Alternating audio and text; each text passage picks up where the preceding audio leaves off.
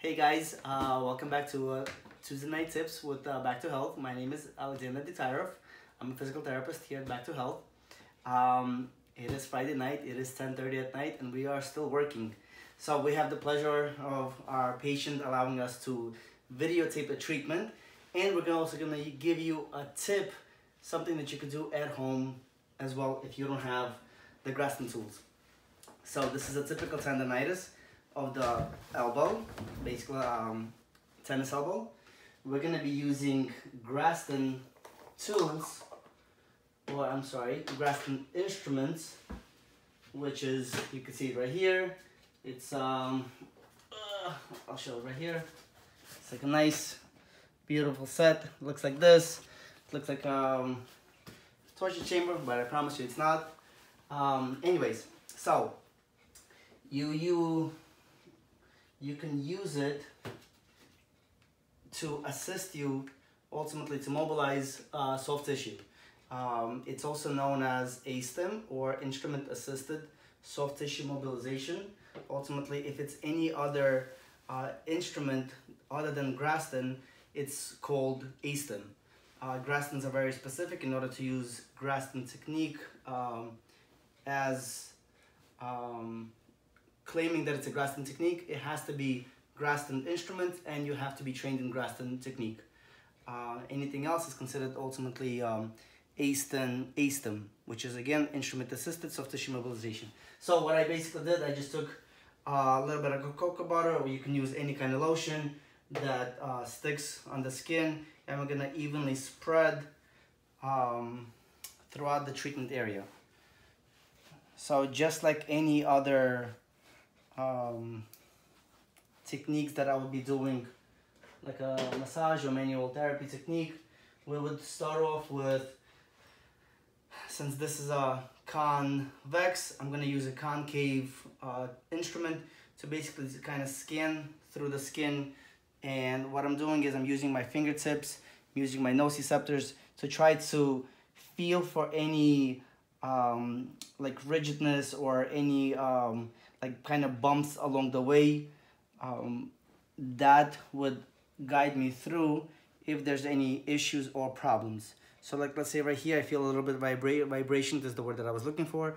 So I feel right here a little vibrations versus here it's not bad and I keep gliding. So right now what I'm doing I'm scanning her arm to see which way I see more tension and as I'm gliding up there's actually more tension going uh, towards her body versus away from her body. And you could see right here that now that it's starting to get red, which kind of clears my findings that I get from the instrument to what the body is showing me. You can see like a nice little red area. So I'll go nice and gentle. Um, and my strokes are one way. It's not a uh, brushing back and forth. It's one way. So I go right now close to the body to away from the body or proximal to distal.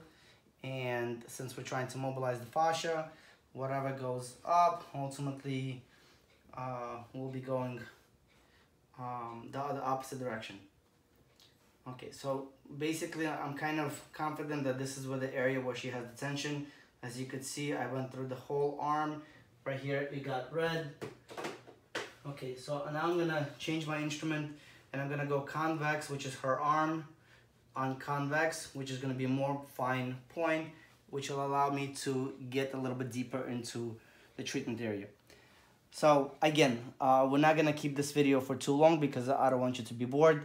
Uh, since these uh, instruments are not uh, easily available to you guys, what you could do, and by all means, I'm not trying to promote or change or make other therapists mad at me, uh, but I'll just give you a little tool. That's something that you can use at home to help you uh, that you can try helping yourself ultimately. So if you have one of these beautiful things, a spoon, um, you want to make sure that one, obviously it's clean. And again, this is not a proven technique. This is not an official instrument. Please don't um, quote me that I said it's okay. Uh, so you want to find something that has edges, but they're not very sharp or they're not too rounded because then you're not going to have an effect. And nice and simple. So you have the edge you're gonna hold it with your fingertips and you can glide up and you'll feel like vibrations wherever you feel vibrate and you're going gentle. You're not going anything heavy. And this is not butter, so you don't go back and forth. So gentle up, about 45 degree angle, and you're gonna feel some vibrations, and then you try it other way, and you might feel a little bit more vibration. Wherever you feel those vibrations uh, or painful areas, you're gonna ultimately then focus in. So I went from doing the whole arm to now I'm focusing in and going a little bit deeper into it. And again, whatever you do one way, you have to do an, op uh, an opposite way. This is not muscle that we're focusing on, it's fascia. Um, or, okay, so then now I'll switch over to get a little bit more fine point. If I wanna really kind of dig in there to maybe, um, again, go a little bit deeper to break down some scar tissue um, and hopefully decrease some of the pain. Again, this is something that you're not gonna just supplement, um, correction, you're not gonna change over your typical treatment. You still wanna do your stretches, you still wanna do your strengthening exercises. You definitely wanna see a professional. Please don't quote me saying that, uh, you know, Dr. Alex said it's okay to use the spoon and not go see a doctor. Uh, this is not a fix at all. Um, but that's something that you can add at home to your stretches, to your strengthening. Um, try a spoon, glide back and forth. If it hurts, obviously please stop. Don't do something that causes you discomfort. Um, that's not our goal. Definitely see a therapist, see your physician. They'll be able to guide it along, but this is like a, a tool that you can use at home and hopefully this tip will help you. Thanks for watching. Please comment below. Um, any feedback that you give us will definitely improve our treatment and you know give you more tips. Uh, thank you and thank you to our patient for volunteering.